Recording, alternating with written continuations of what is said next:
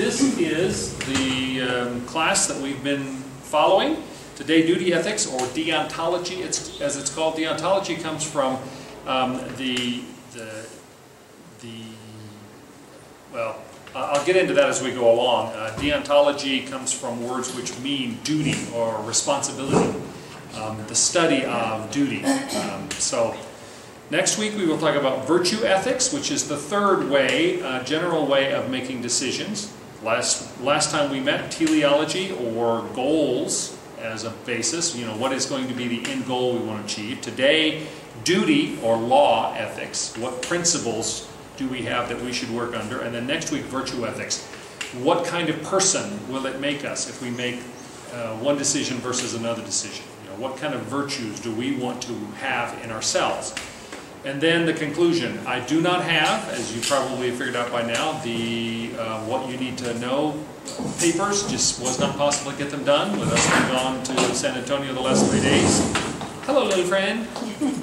Uh, um, but I will get them. I'll, I'll, get them done probably this weekend. I may try to email them out to you. If not, I don't think there's any reading the last week, is there? Did I intentionally leave that I thought, I, I, I need to go back and look. I, I think there is. Is there reading? A little bit. A little bit. I knew there wasn't much because I intentionally thought I would leave you that last week. So even if you don't get the documents until next week, you'll have a week of not having a lot of other reading or studying, and this, you know, it's only like eight pages of questions and answers, so it's not hard to study. Um, but I'll get it to you as quickly as I can. I apologize I don't have them today, since I usually do try to have them in the fifth week of class. So our question is, of course, what is ethics or moral philosophy? This is the uh, approach to understanding what is the best way for people to live, or what actions are right or wrong in particular circumstances. That's what we mean when we talk about ethics. In practice, ethics is intended to help us answer the questions of human morality by defining good and evil, right and wrong, virtue and vice, crime and justice. I've dealt with this stuff before but it helps us, I think, to, to look at some of these basics each week as we before we get into the, the meat of the thing. Um, last time we met, I talked about the fact that there are some sort of common sense principles that seem to apply to ethical decision making. The idea that some things just seem obvious to us. One of them that I'm going to talk about briefly a little bit later is the principle of autonomy, that people should be allowed to be self-determining. You know, we don't have a right to take people's freedom away from them, even though people who come into power at various times in history consistently try to do that, to take power away from people to be self-determining. One of the principles of democratic society, especially, is that we believe that people have a right of self-determination, which includes the right to elect their leaders, not to be controlled by dictatorship. So this principle of autonomy, this also comes into play when we start talking about how we, what principles we can establish that will be the basis for us to make ethical decisions. Again, I'll talk about that later. Some of the others, principle of utility, which is really part of teleology. It's a goal ethics. How do you maximize pleasure and minimize pain? What's going to be the best good for the most people? Now you run into problems because you get into the question of, well, what's really good? Sometimes things, two things that both seem to be good are contradictory to one another. So how do you make that decision? Um, and best for whom? We have there are always legal questions that come up in things like um, the right of eminent domain, if you know that expression. Eminent domain is a legal term that means that if a majority of people will be benefited by something, then it, it, it gives justification for limiting the freedom of one individual. For instance, the right of eminent domain gives the government a right to purchase at a fair price, but still to purchase property, even if the owner doesn't want to sell it, if it's necessary for putting in a highway that will benefit everybody, or for some other public works kinds of thing. So um, this, these issues of um, principle of utility, maximizing good, uh, pleasure or good, minimizing pain or evil, but you get into the questions in teleology of, well, good for who? And you, you, what if it's not good for everybody? And how do you evaluate good versus best sometimes? And people have different opinions. You know, what's good for me and mine may not be what's good for you and yours, so who gets to decide? Then the principle of justice, that all people should be treated equally and fairly. The principle of sanctity of life, respect for that all human life is sacred. As we said when we first looked at this, You get into issues of conflict between, for instance, the principle of autonomy, that people should be allowed to be self-determining, versus the sanctity of life, the question of abortion. You know, how far does a woman have a right to say I can do whatever I want with my body versus the people who would say that, but that's, you know, what you want isn't as important as the human life that is inside you. And so you can see that you run into conflicts on those. If two or more of these ethical principles seem to be in conflict, how do we resolve it? That's why we need ethical theory. We need a framework for moral decision making. Goal ethics or teleological ethics is notoriously bad for giving us that for the reasons I've just recited. That, that good for who?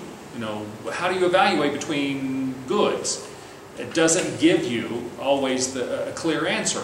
Um, and yet, teleology, goal ethics, tends to be what is dominant in our culture today, uh, doing the most good for the most people. Today we're talking about something that is actually older than that, and while it had gone out of vogue for a while, it, it has come back because of the realization that goal ethics, especially in modern times, with all of the, we have a whole new series of ethical quandaries that have come along because of technology. You know, what do we do with uh, stem cell experimentation? You all know about the situation where, for experimentation, experiment's sake, um, the uh, oh, the Family Planning Organization, Planned, Planned Parenthood, was selling aborted infant fetuses and selling tissue from abortions, and it's been a huge ethical thing, and I, I, almost everybody has said that's terrible. Well, that's an ethical question.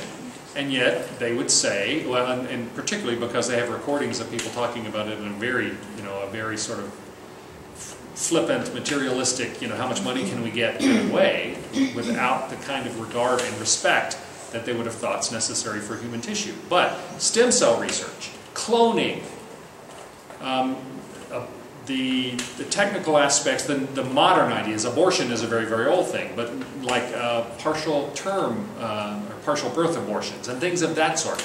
All kinds of things that modern technology has created quandaries for us ethically. And how do we determine those things? As always, the question in ethics is not just what do I believe, it is what should I do? We can agree on what we believe and disagree on what we should do. So how do we create a system whereby we can think that way. Christian ethics comes into conversation with other kinds of thinking, particularly Greek philosophy, for instance, and others, um, in terms of determining ethical approaches. But in every case, whether you're talking about the ancient Greeks, whether you're talking about Hebrew ethics, modern Christian ethics, completely secular ethics, we're going to talk about Kantian ethics in a little while, um, you have three primary ways of approaching a moral decision. Now, there may be some slight combinations of these. I'm going to talk about proportionalism toward the end of the class. But teleology, which is goal-oriented, what goal do we want to accomplish, and therefore what ethical decisions do we need to make to get there? There is deontological, which we're talking about today, which is duty or rule-oriented. And then next week we're going to talk about aretiology. We don't usually use that word because people don't know it as well. But virtue-oriented. What virtues do we want to encourage?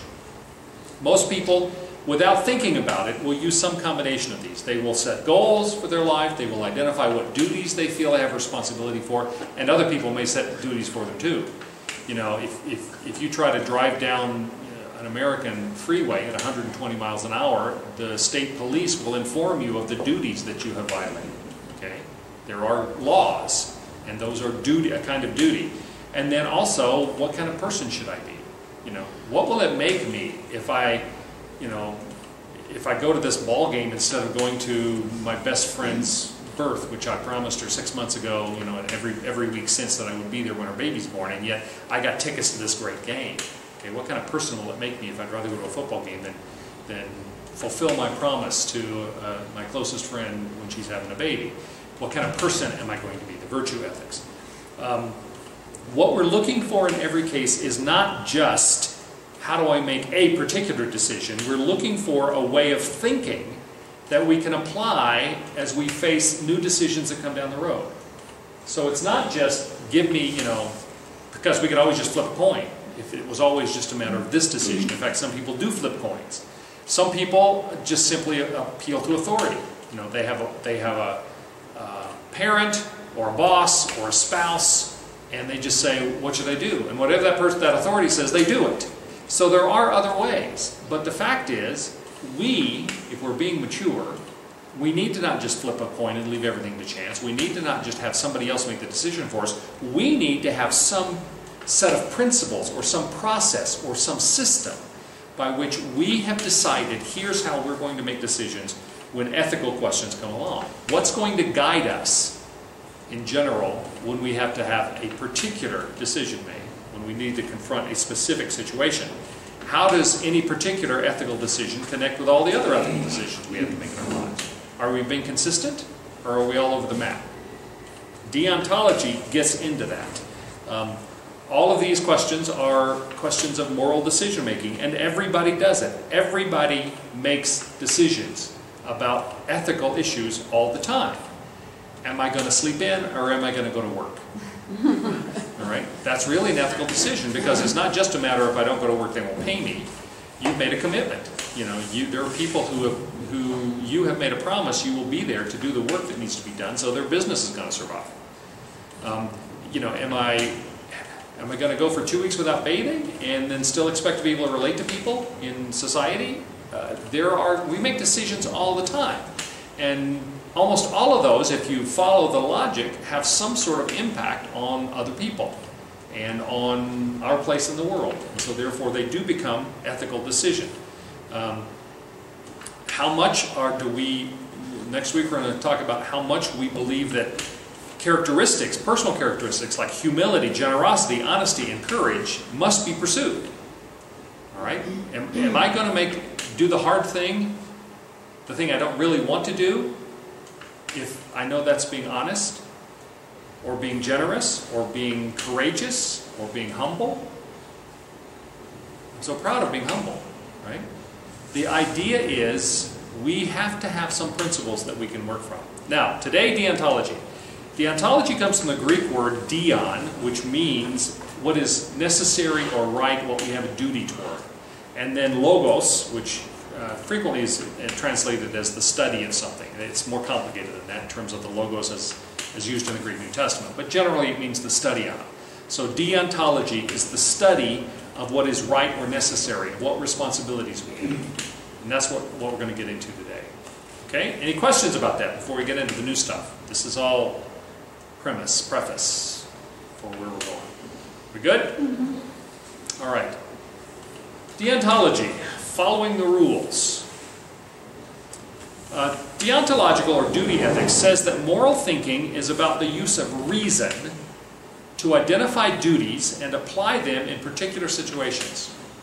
Now you'll notice it's not appealing to some other authority, it's using our own reason, using what resources we have in us to decide what rules should I follow, what responsibilities do I have. In fact, deontological ethics is always talking about rights and responsibilities. Someone's rights and then the responsibility someone else ha has to respect or address those rights. Um, and everybody would agree that if a person is starving, it is right, they have a right to eat. People should not starve to death. But deontological ethics would say, but who has the responsibility, the duty to feed them? Do we? Do the people who are in charge of the government of the country that they live in? You know, so, but deontological ethics is always about um, rights and responsibilities. Not just what will turn out best, but particularly when I'm doing deontological ethics, what is my duty or my responsibility in this situation? When I hear that someone is going hungry, do I have a duty to do something about that? A responsibility.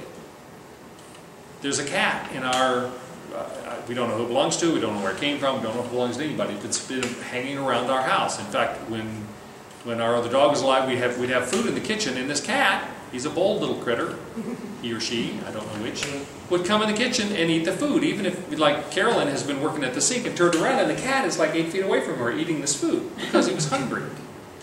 Well, you know, because our dog was sick, we, we had to keep shooing it off, because if our dog had seen it, he would have, he would have freaked, because he does, you know, high prey drive, and he would have chased the cat, and that would have been really bad for him in the condition he was in. So we kept shooing the cat away. But as soon as our dog was gone, um, I bought cat food and we've been feeding the cat, all right?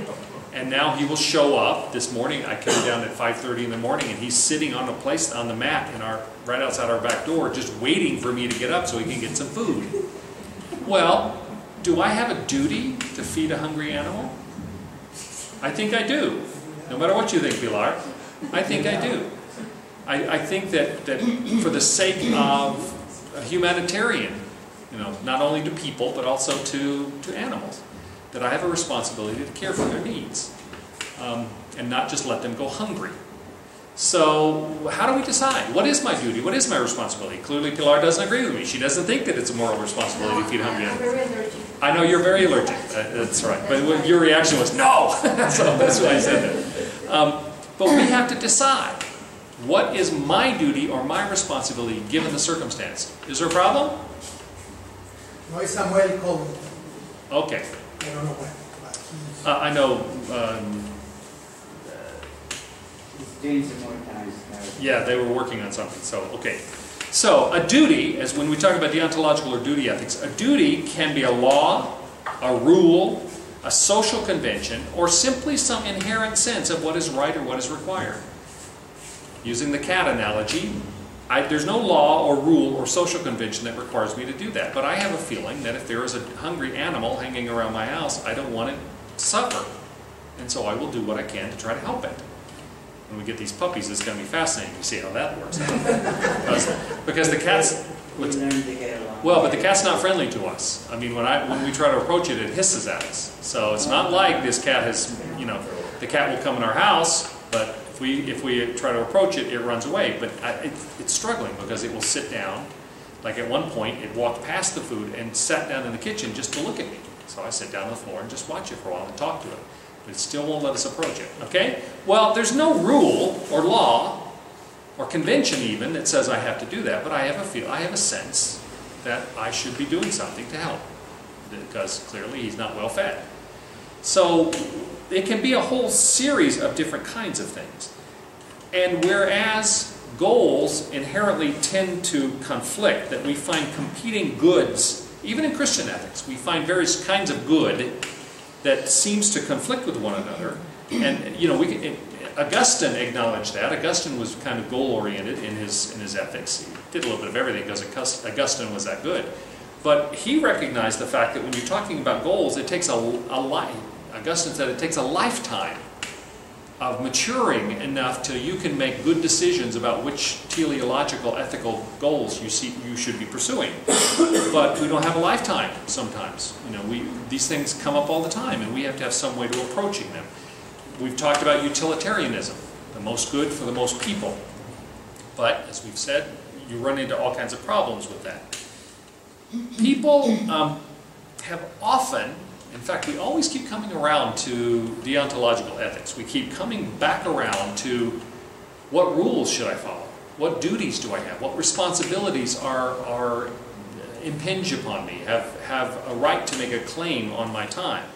Um, and people have a general sense, at least to a certain extent, people have a general sense, it seems, that, that they do have duties and what those duties are, even though situations can be confusing. If there is a, if you come upon a lost, hungry child in the street, do you just go, go away, kid? No. No, you don't. You have a sense that you have some sort of social responsibility, some duty to care for that child, to try to find the child's parents, to do something to help in that situation. And just because, you know, your, a friend is expecting you for lunch right now, doesn't mean you just blow this child off in order to go have lunch. There is an inherent sense that all people have, that we have certain duties. Now, it's always also been understood that, and the Stoics said this, the, uh, the Greek philosophers, the Stoics, they said that if you follow this kind of duty that we all have a sense of, if you accept the responsibilities that we have, a, that generally speaking, we all have a pretty consistent idea of responsibilities. If you follow those, you're probably not going to be rich or particularly successful. So, so I have a question. Yes. An inherent sense we're born with that, or is that nurture versus nature? Well, it, it- people have disagreed with that. Most people who have studied this down through the years, and I'm going to talk about them uh, some, like, like Thomas Aquinas, for instance, says that there is a natural law that is, is part of who all people are as made in the image of God, and that it is inherent, that we don't just learn this, and that it is, um, there may be a gray area around the edges that different cultures or societies have varied on. Uh, as I've said before, the idea that, um, you know, people say, well, there are cannibal uh, societies that say it's okay to eat people. But there's never been a cannibal society that said it was okay to eat your own children. Okay, there's even though there there's some areas that we not everybody might agree on some of the particulars, there still are basic things that yes, it's okay to go to war against the against the other tribe, but it's not okay to go to war against your own tribe unless you are seriously provoked. So there's there is sort of this natural sense, no matter what the culture, no matter how advanced or primitive we might identify the culture as, people seem to have some sense that we need to, you know, that we have certain duties and responsibilities. In fact, so much so, um, I don't know if I said this in this class, but we talked about it in one other class, that we have a, a, scientific name for somebody who does not have a sense of responsibility for others. It's called, you know, the, they're sociopaths. It's considered a mental illness if we have no sense of responsibility for the well-being of anybody else, if it's all just about us. So there is this inherent sense, I think, the idea of, you know, do the right thing. Okay, if nothing else, do the right thing. The founders was it um, of Google, you know, their mission statement, it's Google or Facebook, I don't remember. Um, their, their mission statement when they started was do, uh, do no evil. That's their mission statement as an organization. They've been very successful, but the idea of do no evil, I think it was Google. Uh, and because they got into the question of, well, you know, Google seemed to be working with the government of China to suppress some of the some of the stuff, the, the freedom of the internet in that part of the world. And so they go, wait a minute, you're doing evil. You're violating your own principle. But whenever you say do the right thing, or don't do evil, or etc., th things like that, that expresses sort of an inherent sense that there are right things and wrong things, and we all have a pretty good idea about that. Um, in fact, when we run into that, a failure on the part of people to be able to recognize that, I at least, and I think most people, find that very frustrating when people don't seem to have the, enough of the inherent sense of what of that, that there is right and wrong. I'll give you a specific example. Um, Carolyn and I were at dinner with two other couples one time, several, two or three years ago. This was right as the government of the United States was beginning to institute the various uh, programs to figure out if American citizens were hiding money in other countries so that they're not paying taxes on it. Okay? Right now, you have to, if you have over ten thousand uh, dollars in foreign investments or whatever, you have to file certain paperwork. And they were just beginning that. Well, at this dinner, one of the couples was from our church, and one couple don't uh, is not from our church. And the other man and uh, the other two men and I were talking, and one of them said, "You know, um, well, I'm not worried about that because they'll never catch me." And the other guy and I said, "Yeah, but you are breaking the law." He said, well, it doesn't matter. They'll never catch me. Over the next hour and a half, the other man from our church and I and the three women were having a different conversation, but we were talking, and the two of us kept trying to make this guy understand that whether you get caught or not is not the only criteria for making a decision. Some things are right and some things are wrong. You decide to either you know, obey the law or break the law. And if you decide sort of frivolously, I'm going to break the law, then how far does that take you? It's a little bit of virtue ethics too. But at a certain point, the law is there for our protection as well as, you know, our protection against others as well as the protection of others against us.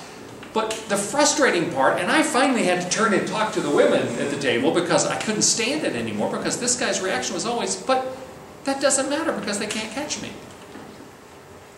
we, we could not find a way to have him understand that doing the right thing is not entirely based upon whether or not you're going to get punished for doing the wrong thing. And the frustration that, that the two of us experienced, and the guy never did figure it out, uh, that, that there was an issue there, is over the fact that anytime we run into anybody that doesn't have some sense that, that it's not just a matter of am I going to be punished if I do the wrong thing, sometimes you need to do the right thing because it's the right thing to do and, and it doesn't it doesn't matter whether you agree with the government, government of U.S. taxing us. I mean, the, the particulars of it had nothing to do with it. We got past that immediately. The question of Do you do the right thing because it's the right thing to do? Do you obey the law because there is the law and it's in all of our best interest to obey the law or, or chaos would ensue? Um, the, the inability for somebody to be able to either understand that or acknowledge it is very frustrating to us, right? That comes down to this issue of we all have rules. We all have duties that we, um, that we understand and that we assume with regard to how we live our lives. And what that means is it boils down to, in deontological ethics, an action is right if it conforms to our duty. Right? So right and wrong is determined by whether or not it fulfills our appropriate duty. Now, what makes a person good is that he or she does right actions according to established duties and rules. Now, you there is a legitimate question to be asked, and I'm going to get into that sort of thing a little bit later. Um, how do you determine whether or not the established duties and rules are, are proper? You know, the defense of the Nazi, uh, some of the ones who did the terrible crimes in, in the Second World War was, I was obeying orders. I was, I was doing my duty as a soldier. Well, we have in recent times, in fact, the, the Second World War and the Holocaust, especially, the, the atrocities that came in the middle and latter half of the 20th century, especially by the Nazis, but by others as well, has really raised a whole new set of ideas that there are higher duties. The, the very idea, you, you know, you've all heard that, you know, the International Tribunal at The Hague, um, they try criminals for crimes against humanity. The very idea of crimes against humanity did not exist until the Second World War. That's not to say there were never crimes against humanity, but think about what that means. When, when we, as, a, as sort of a global community, when we just started deciding in response to the Nazis in the Second World War and what they did, the fact they said I was just doing my duty, they said, oh, wait a minute, there is a duty bigger than that. There, you have a duty, a responsibility to not do atrocities, to not commit crimes against humanity, and those are defined fairly specifically. But in other words, rather than say, well, duty ethics doesn't hold because the Nazis said I was just doing my duty, we say, no, wait a minute. You were doing a lesser duty. There is a bigger duty that trumps that, and that is you do not commit atrocities against other human beings. You do not um, commit crimes against humanity. So in effect, duty ethics or deontology got reaffirmed at the Second World War because of the Holocaust and then other genocidal kinds of things that happened in the latter part of the 20th century. But this idea, the, the terminology, crimes against humanity, and the idea that there's a global court that tries to address that is a very new kind of idea, but it's entirely based upon duty ethics. That we have a duty to not oppress or uh, commit crimes against humanity as a whole. Now, some duties, as I said earlier, are um, imposed on us. Government laws and regulations, that's criminal laws, traffic laws, health regulations. You run a restaurant, the, in most places the government will come in and tell you, no, you have to close, we're going to close you down because you're not meeting the regulations. Okay? You are not fulfilling your duty for somebody who's going to be serving food. If you join a country club, they will have, there's a dress code.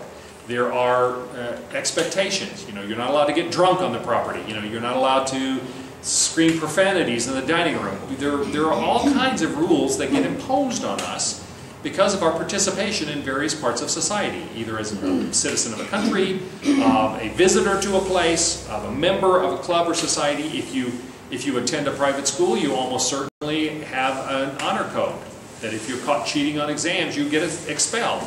Those are the kinds of duties and responsibilities, deontological ethics, that get imposed on us from outside. But there's also a sense in which there are self-imposed expectations that do the right thing, don't do evil.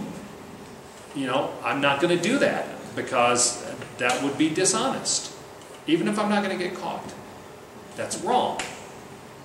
Um, our old pastor in Seattle, Earl Palmer, he said that one of the things he was most proud of and his, his kids as they were growing up is when they, from hmm. time to time, and they would tell him later, they would get confronted with, you know, somebody would offer them drugs, or they would say, let's, let's go in this shop and steal something.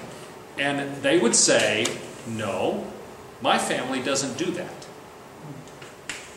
And Earl Palmer used to say, nothing made him prouder than that, to realize that they had a sense that they belonged to a family where they agreed there were certain duties, certain responsibilities, certain rules that they followed. They did not violate because of their membership in that particular family, and especially because they're Christians. Okay? Um, not, the issue wasn't whether they get caught or not. The issue wasn't whether it was profitable or not. The issue was we don't do that.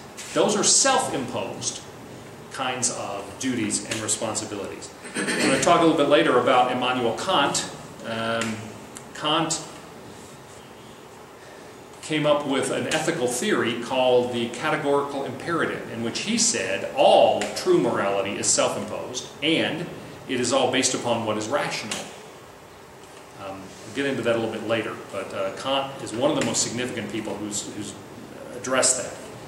It's also true, yes, How does the Crusades figure in on something like this? um, the Crusades were justified. Let me start there. If you've attended any of my lectures, the Crusades were, at the start at least, a war of defense. They were as justified as any war has ever been. That doesn't mean there weren't terrible things that were done on both sides. So we can't, the, I- the sense I had, Rick, from your question is the Crusades were all awful and wrong. Uh, Well, they weren't, okay? Um, I could show you some maps to show you why that was the case, because the Islamic armies had Mm-hmm. invaded the uh, mm-hmm. Iberian Peninsula and gotten up almost to Paris in France. They had taken over all of Christian North Africa, all of the Christian, Christian and Jewish Middle East, all of Christian Asia Minor, where Paul planted all those churches, had come under Muslim rule, and they were at the, on the gates of Constantinople, ready to take over what had been the capital of the Christian world for a long time, before the Crusades started, and they, they fought back. Again, it's not to say that that there were terrible things, and noble things too, done on both sides. But we can't pick an instance like that and say, oh, well, there's no, you know. The, in fact, um, from a duty ethics point of view, the Crusades started when the Pope, at that point, uh, declared at the Council of Clermont, um, we've gotten a request from the, the Emperor and the, um, and the religious head, the Metropolitan in Constantinople. They're being attacked by Muslim armies. They've asked us to respond, and we must respond because Deus vult, which means God wills it. The idea that there is a duty, we have a responsibility to respond, to protect Christianity, to protect you know, Christians against Islamic uh, onslaught, etc. For a good example of duty ethics, you know, of a deontological sense, we have a responsibility. Now, it ended up being much bigger than, than either the people in Constantinople, um, Byzantium, Constantinople expected, and bigger than the Pope expected when he made that call. That's history. But um, there are, I mean, there are people who say we're doing this because we have a duty. Well, if you dig down, you realize that it's entirely selfishly motivated because I want my people to win. In fact, one of the one of the ethical challenges that has come to this um, is how do you decide which duties are right? How do you decide which duty is the primary one? And the philosophers on that issue have said that whenever we, we feel or identify that we have a duty to something, we need to ask, is this a basic duty or is it a prima, a prima facie duty? Meaning, is it on the surface? Prima facie, on the face of it. And they said the, the issue is, make sure that it's not a prima facie duty, meaning it just looks like a duty on the face of it. And the way you do that is by asking, well, what is the more foundational duty underneath that? Okay? And if you dig down, you may say, I don't really have a duty at all. It's just that somebody has tried to convince me that I need to go to war in order to make my tribe richer or make my family more important or whatever it is.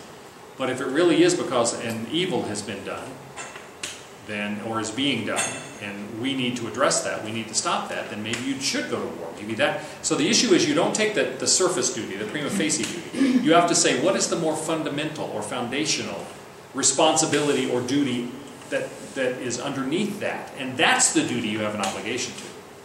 And if you dig down and you say, well, no, there really isn't any kind of foundational. If I dig down, I realize that this isn't justified at all, then that's how you make the ethical decision. Does that make sense? So, not sometimes what looks like a duty on the surface, the prima facie duty, we have to go beneath that. What is under this? What's supporting really supporting this. Yes? So I'm, I'm a little confused about how a soldier in a standing army would feel.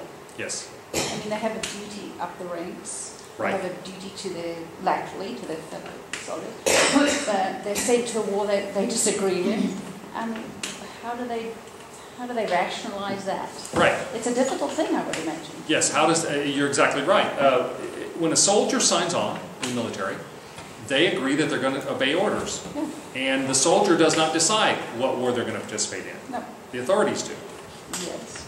Well, there's an onus on the authorities, on the government. You know, that's one of the reasons, for instance, why in most, most Western countries at least, most countries, most Western countries especially, it's not the military that decides who goes to war and when they go to war. It's the civilian authorities. You know, we, we forget that. And most times in history, earlier in history, the armies decided when they were going to go to war. And they could have all sorts of, you know, conflicting or wrong motivations because they wanted to win the battles, and, and particularly because they used to get, you know, they used to get the benefit of whatever they conquered. You know, they would loot as a part of the process. We don't do that anymore, and the army doesn't get to decide what wars we go to. There are civilian authorities, but still, a soldier who joins the military. Uh, this is one of the one of the challenges always about um, about required enlistment or the draft. If you're forcing people to join, you're not giving them a choice as to whether or not they even believe in war at all. Well, that's why in most Western uh, cultures we have had things like conscientious objectors. If you do, if you follow the rules, there's a means to get out of it. Or non-combat kind of roles. You know, conscientious objectors frequently are, are you know, their role is limited to um, working in the mess tent or in offices or uh, providing, you know, stretcher bearers and that sort of thing, so that they're not actually involved in active warfare. So there's always been, you know, almost always been in the West some allowance for that sort of thing. Conscientious objectors, I mean, obviously during the Vietnam War, when there was so much objection, the military started cracking down and said, no, people can't say, I'm not going to, to you know, I- I'm not going to be drafted, I'm not going to join the military, and they were, they were not allowing as many conscientious objector statuses as were asked. That's why we got Americans going to Canada, you know, um, and Canadian government was saying, they, they, they didn't approve the Vietnam War, they were saying, you can't come and get them, we're not going to extradite them, right? So that has always been the question. Now, the thing that the, that against in the last seven, 60, 65, 70 years that we've decided is even a soldier serving in the military, there is a higher level of duty that, that is the responsibility to not do atrocities. Okay? Saying, well, I was a soldier and I had to do my duty and they ordered me to do it, so I had to do it. That's the crimes against humanity thing. That's no longer, it's, the assumption is that yes, you have a duty to be obedient if you're a soldier. You have a duty to do what the authorities in the military tell you, and the military has a responsibility to do what the civilian authorities tell them. But at a certain point, if they're telling you to do something that is clearly uh, an atrocity, clearly is a violation of human rights to kill civilians or whatever it is, then you have a responsibility to say no. If you don't say no, now if you say no, they could execute you. But if you say yes, then later on you could be charged and executed. So it's, a, it's not easy. It's a very difficult situation. I would think so. But that's why we don't, you know, that, that uh, required service in the military is, is not typical in the West unless the time of, of very serious warfare. I mean, okay, we don't usually, the draft is not an ordinary thing, only in, in exceptional times. So all of those are, are efforts sort of that the society has to try to hedge their bets on that with the realization that somebody who's serving in the military who is asked to do something that they consider to be unethical, they are in a quandary and they have to decide. Um, but ethical decision making is part of the human process. I'm not saying that's easy, but that's one of the reasons why if somebody thinks they're going to find themselves in a difficulty fighting a war that they're told to fight, they don't have to join anymore. Yes? The the combat soldier is- isn't usually fighting for patriotic reasons. He's, he's fighting for survival of him and his buddies. And he does, his primary duty is to his buddies. Right. Really? Very, very few flag wavers in the, in the foxholes. Well, it's it, the, the there's a difference in the sort of uh, the the primary motivation for being there, and then the motivation you have once you get there. It's true that most you know most people who been in active military service, meaning in in combat, they will say, you know, well, what's your motivation for doing this? And go, well, if I don't, you know, my my the guys on my right and left who are my friends, you know, closer than a brother, as they would call it. In fact, we have all these expressions like the band of brothers, you know, the TV series. Uh, the idea that when you fight along somebody, somebody in a war, they do become closer to you than a brother. And so the motivate, the, the immediate motivation, the duty that you feel right then is not, is not the higher level duty of, well, should I be involved in a war? It's, I have to fight because if I don't, then those I love on my right and left are going to suffer for it. I have a responsibility. Um, so yeah, it, it- it's complicated. I'm not saying it's easy. Yeah. If it was easy, then we wouldn't even have classes on ethics. But that, the, you know, somebody who joins the military, that there is a challenge in that. John? Um, As, as a Christian and as an individual, this issue of duty, and I think sometimes we can get lost in trying to decide which duty is correct, when maybe one of the serious issues is, am I willing to suffer the consequences for choosing the higher duty? Right. You know, and, and, and we may hide behind the argument that makes it the higher duty, when actually it's very clear to us, and our reticence is because, uh, we're probably willing to pay the consequences for doing the correct thing. Exactly. And think about that. That's the difference between duty or deontological ethics and goal ethics. If, if I don't want to do this because of what might result, that's a relying on, a, one, on what are the goals, you know, what are the results going to be? That's the goal orientation. That's a teleological argument. Versus saying, this almost certainly is going to hurt, but I'm going to do it anyway because this is the right thing. You know, I have a duty to this. And I'll give you a specific example that I experienced. I went to work as a senior manager in a company. It's actually a Christian company. Um, and people who were there see this video, they'll know what I'm talking about. And there was a woman who worked for me when I went in. I went in as, a, as, a, as the senior manager, as a senior manager, and uh, reporting to the president. And there was a woman who worked for me. And she was very difficult. And she had been verbally abusive to a number of people in the company. There were people who would, who would go the other way when they saw her coming. And she had been written up, her personnel file was like that thick. Several times she had done things that would should have gotten her fired for cause. For cause means she's done something that disqualifies her for employment. Um, but she was black and she was a woman. And for that reason, nobody was willing to fire her. And I had a situation with her working for me where she and another manager that worked for me, uh, I was gone for a day and at conference, meetings. I come back and everybody's going, oh, wow, you're not going to believe it. But these two people, this man and woman manager, were screaming at each other in the hallway. And almost everybody could hear them. And the guy who was screaming at her was because she had been, uh, she had been so loud and critical toward somebody who worked for him that the young woman was crying. So I, um, so I get back and I, I sit down with him and I, and it was going to become he said, she said. So I said, okay, you guys can calm down because you don't need to say a thing. I will tell you, I'm going to do all the talking and I'll tell you what. Rather than have you guys try to explain to me why you were justified in screaming at each other, I will just say that if either of you ever raises your voice again against anybody in this company, for any reason, I don't care what it is, you're fired. Simple as that. And then I said, would you like some tea? Because I was making tea. Well, I had people say, you can't fire her. She'll sue the company, the ministry. And I said, I don't care. You should never not do the right thing because of what you're afraid might happen. Right? Two months later, I'm in my office, and we were in this, this old house, was our office, and the oak door is about that thick, and I heard her screaming at my assistant out, out in the outer office. And I went to the door and said, come in, please. And she sat down. I said, do you remember two months ago when I told you if you ever raised your voice against somebody in this organization again, you were fired? Said, she said, well, yeah. And I said, I just heard you screaming at my assistant. She said, I wasn't screaming, we're friends. Everything was fine. I went, I heard you through a two inch thick oak door. You're fired. And she looked at me and said, You can't fire me. I said, I just did. okay? And I walked over to the president's office and told him what we're going to do, and you know, we together called personnel, and they said, "Oh wow, we're going to have to deal with you." She should have been fired several times before that. Several times she had people in tears over her verbal abuse.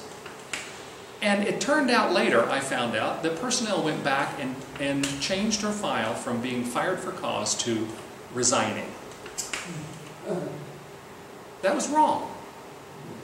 She should have been let go. I, and I was very respectful all the way along the line.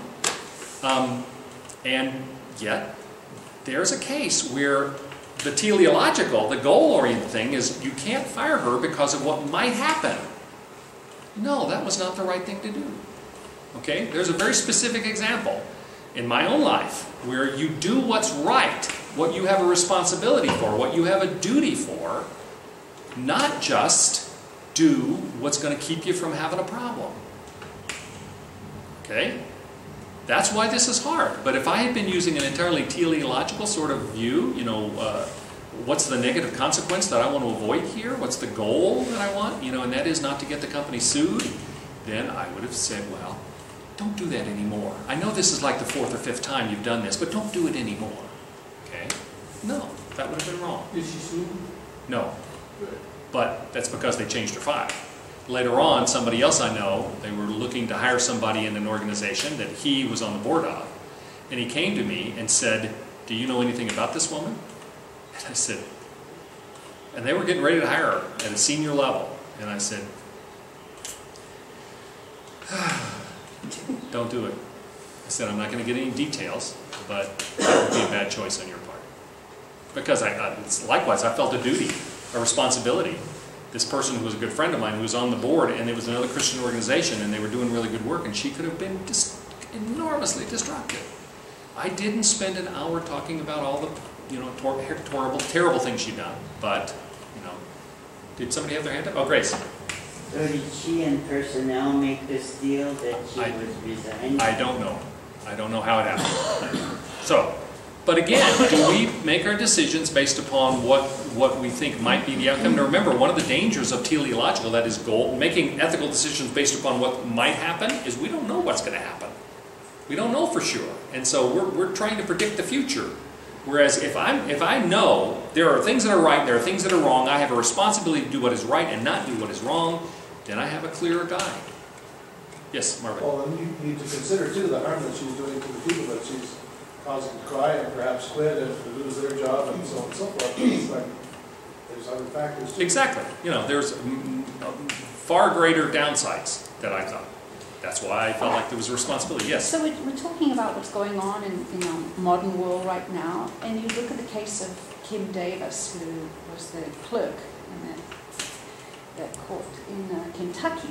Right. That she had a sense that she had a higher authority, but the government was insisted that she do her job. Right.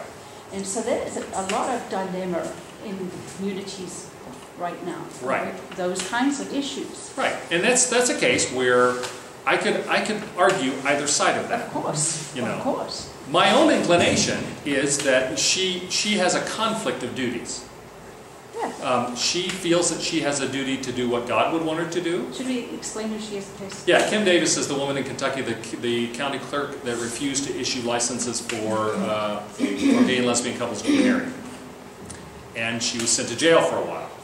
But the issue there is she has conflicting duties. On the one hand, she is employed by the government, and the government says this is the policy we're going to follow. And to what extent is, does she have a duty to obey that? She feels that as a Christian, she has a duty to be obedient to God and not issue those licenses. Okay, and so which duty is she obligated to?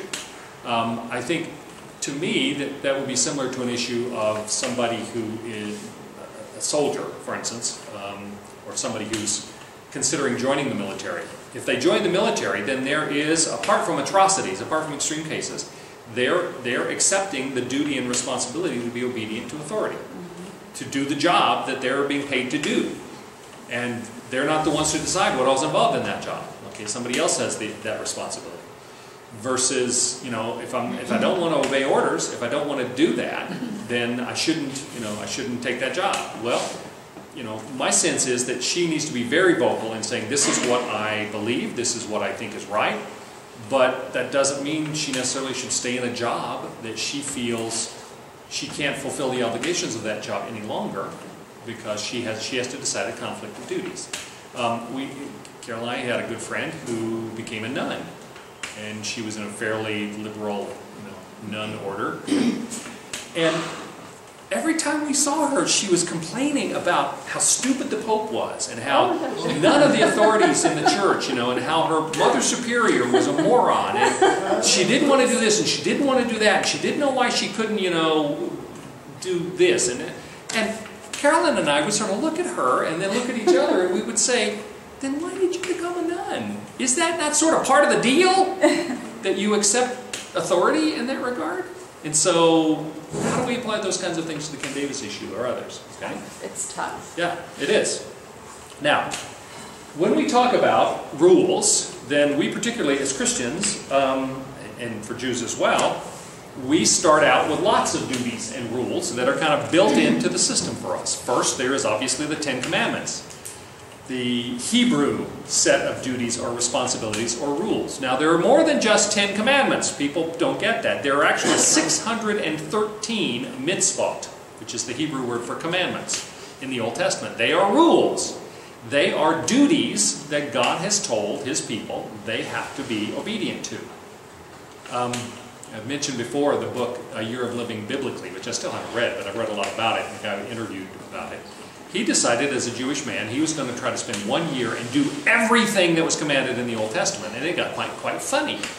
All right, you know, uh, how do you end up uh, stoning a sinner? You know, pebbles, kind of thing. Um, it- and so it became quite the experience for him. But and so we still we run into questions as to how do we, for a Jew, how do you obedient to that? And then for us, we've talked about the difference in, in moral law and uh, Deuteronomical or priestly law, that we are still obligated to follow the moral law. Don't kill, don't steal, don't lie about your neighbor, don't, don't, don't covet their stuff, you know. Um, but we are not obligated to follow the Deuteronomical or priestly law. It's okay for us to eat bacon. It's okay, we don't have to sacrifice animals, etc.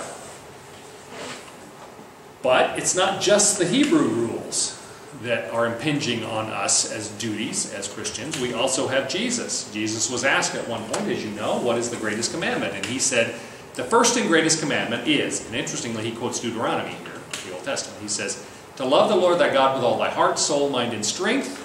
That is the first and greatest commandment. And the second, you know, he gave him a bonus, more than they asked for. The second greatest commandment is like unto it, right up against it, right next to it, and that is to love your neighbor as yourself. These are the two commandments to love. And so those are impinging upon us. First to love God and then to love our neighbor. Uh, The Martin Luther famously said, Augustine had a version of this, but Martin Luther said it clear, more clearly, love God and do as you please. Now what that means is, if you get that in the right order, if you really love God, then the things that are really pleasing to you will be the things that are pleasing to God. That is, that's basically a deontological ethic. Love God, obey that commandment, that rule, accept that duty on yourself, and then do as you please, because if you truly are living by that first duty, everything else will fall in line. Okay? Um, but in addition to the Hebrew laws, for those of us who are uh, Christians, uh, the, the ethical laws of the Hebrew Old Testament, and the laws of love in the New Testament, we're also told to obey the authorities in the world. 1 Peter 2, 13, 14. Submit yourself for the Lord's sake to every human authority. By that he means those who have been put in authority over us in a society. Whether to emperor as the supreme authority or to governors who are sent by him to punish those who do wrong and commend those who do right. We are told to obey the law. And Paul talks about this too. Paul, who was persecuted, and eventually both Peter, who wrote this, and Paul were executed by the authorities that they said we needed to be obedient to.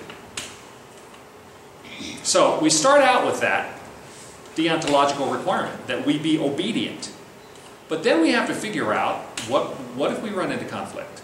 You know, what, I'm, a, I'm supposed to obey the authorities. I have been drafted or I enlisted as a soldier. They're asking me to do something I think violates a higher duty than that. How do I respond? It ain't easy. But the question is, how do we come up with some sort of system that gives us an ability to make those determinations? Um, we look at reason, authority, agreement between things, uh, conscience, our own conscience, all of them work together in some way of thinking about deontology and Christian ethics. Sorry, about deontology and Christian ethics. This thing cuts off the bottom of the slide. Um, we have to figure out how we apply all those things. And there are ways in which various scholars, particularly the next one we're going to talk about, Thomas Aquinas, has sought to try to address that. How do we take the, the teaching, the ethical teaching of the Old Testament, take a deontological, a duty approach, and then apply that to how we actually live our lives?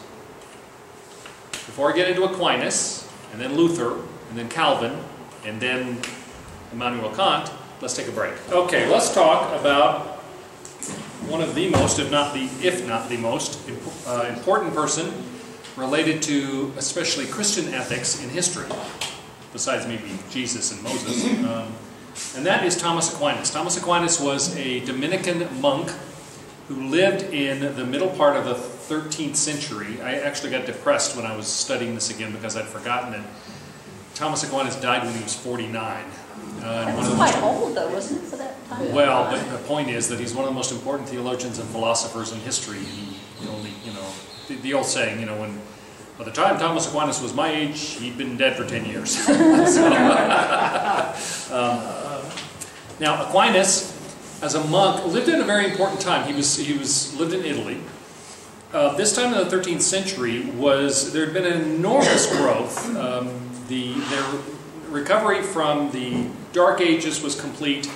It's called the Scholastic era because they developed a very particular way of approaching um, philosophy and argument in scholasticism, for instance. And it's very awkward for people today to read this because in scholasticism, Aquinas and others would start out by making the other side of any argument they wanted to make. And they would give you all of the reasons why you should believe a certain thing and give you all of these references. And then they would turn it around and say, but we don't agree with that, and here's why. And then they would give you all the references. So it's confusing for us to read it, but it actually is a very comprehensive kind of approach. In the 13th century, there were huge developments that had occurred and were occurring in philosophy, in medicine, in mathematics, most particularly the um, Muslim culture in the Iberian Peninsula, that is Spain and Portugal. They, the, after the golden age of Islam, which was a little, you know, just prior to this, there was an enormous amount of intellectual properties, particularly the Greek philosophers, that had been lost to Western Europe, but had been retained in the Muslim world. They were so, the Muslim world was so far in advance of the Christian West in terms of their scholarship, of their understanding. And at this point, by the middle of the 13th century, a lot of Aristotle and a lot of the Greek philosophers that had been completely forgotten and lost in Western Europe had been recovered as they, as they recovered some of the Muslim libraries that had existed in the Iberian Peninsula in Spain, Cordoba and elsewhere. And so there was this huge rush of philosophy and of intellectual pursuits based upon Aristotle and Socrates and a lot of other people that had been kind of rediscovered. Thomas Aquinas' most important work was the Summa Theologica. The Summa Theologica is a summary of really the whole story of God's relationship to humanity and history. It is a philosophical work, one of the most important documents in the history of Christian writing. Um, and in it, Aquinas systematically organizes human knowledge from a Christian perspective. And again, in the scholastic method, he starts out by stating all of the objections uh, and even quoting references why those objections were made before he comes back around. The fundamental thing in, with regard to ethics that Aquinas does is in relationship to the principle of natural law, which is a, he, uh, a term he coins. For Aquinas, duty is known by a rule of practical reason that tells us how our human nature requires us to act.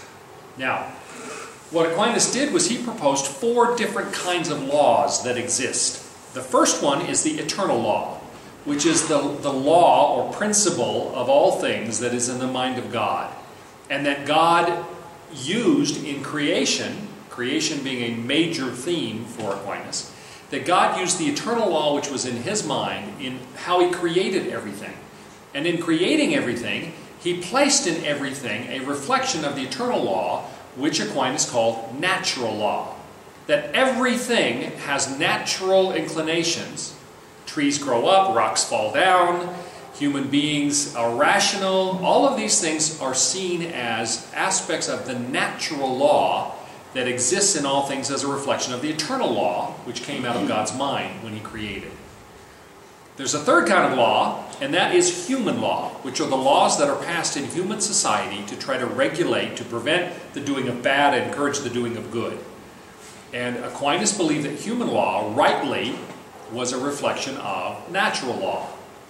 And then, all of this, all of these things are, are built in, kind of rational, this sort of natural, inherently present in human beings and in, in all things. But then Aquinas said there's a fourth kind of law, which he called divine law, which is special revelation. That's how God has communicated uh, to emphasize things or give specific directions, the special revelation, which is uh, particularly the incarnation of Jesus and the written word. That's the divine law. So, the eternal law, which is God's mind and all of the principles in his mind that he used to create the world, in which he embedded everything with a natural law, animate objects and inanimate objects. In terms of humanity, we've interpreted that natural law in human law. And then, in order to make sure that we're not getting off the path, God has given us the divine law, which is His special revelation in Scripture and through the incarnation of Jesus. Okay, so four kinds of law. Got that? Now, the natural law is the most important part. That's the philosophical principle on which everything else is based. The, the idea in Aquinas is that God implanted in everything in nature an inclination to act in a certain way. Plants, animals, rocks, rivers, everything has a particular orientation that is a reflection of the natural law. It acts a certain way because God caused it to be that way. Now, in human beings, um, we are created as rational creatures. Now, Aquinas talked about the fact that there was a distinction between what he called the theoretical reason and practical reason. Theoretical reason is the, um, the tendency of all things in nature, including humans, to act in a certain way. Practical reason, and that's sort of teleological. God set goals. Trees are supposed to be like this, and so he made them so that trees will be like that. Animals, you know, lions are supposed to be like this, and so the goal is they were created with a certain nature to be lion like. But in addition to that, human beings are given what Aquinas called practical reason, which allows us to make judgments about what is right and what is wrong, what should be done and what should be avoided. And it gives us the ability to formulate rules and principles. In fact, it's it's practical reason that allows us to make human laws, which Aquinas insisted were based upon, although they could be messed up. Because human beings, as rational creatures, we can decide we're not going to be obedient. Obviously, that's what the fall is. But generally speaking, human laws should be a, a, an application of our practical reason to the natural law that exists. Make sense? We create laws that are supposed to keep us in the right direction according to the way that God intended people to be, the natural law that is in us.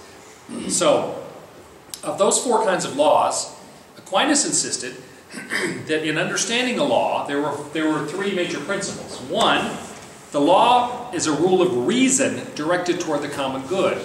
God's laws are always for the good, and God allows us to perceive those laws based upon our reason. He made us rational for a reason, so to speak.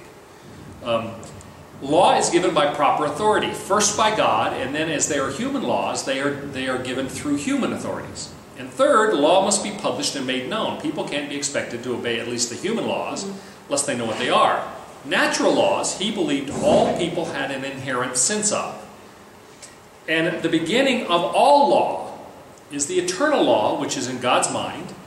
That is reflected in natural law in all things. But we humans have the practical reason, the ability to decide whether or not we're going to follow the natural law, either in how we make human laws or whether we're going to violate that you know, and, and be disobedient to human laws. Does that sense? The point in all of this, the most important part, is this is all inherent. This is all. This is how God made everything. Most specifically, how He made human beings, and that those four kinds of laws—the eternal law, the natural law, which is in all things, the human law, which we make based upon natural law, and then God's specific directions or special revelation in the divine law all of those things tell us how we should act. And if we are sensitive to the natural law that exists in us, then we will be able to make the right judgments. Now, all of those laws, particularly in our case, the natural law, the human law, and then the divine law, which is Scripture, the special revelation, all of those are duty oriented. The, the natural law is God telling everything you have a responsibility, if you will, to be a certain way. And we have to interpret that. We have a duty to create human laws that are consistent with God's natural law. Okay? That's and what, one of the things that Aquinas did, because he then said that we can make we can use our human reason, our practical reason, to decide not to follow laws, he has a, a, within his system there's an understanding of how sin comes into it and how redemption comes into it. That our natural judgment is broken many times. And then because of uh, Christ's incarnation and his sacrifice on our behalf, he makes us whole again, which gives us, returns to us the ability to make the right judgments.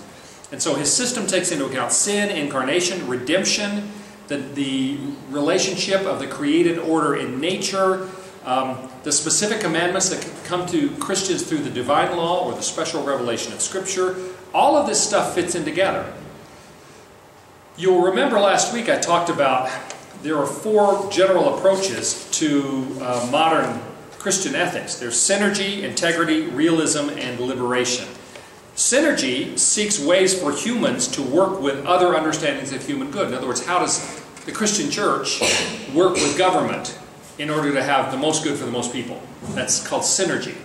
There is integrity, which is very much the sort of pacifist movement, the, the Brethren and the Moravians and others, which would say that no, we can't work with the government.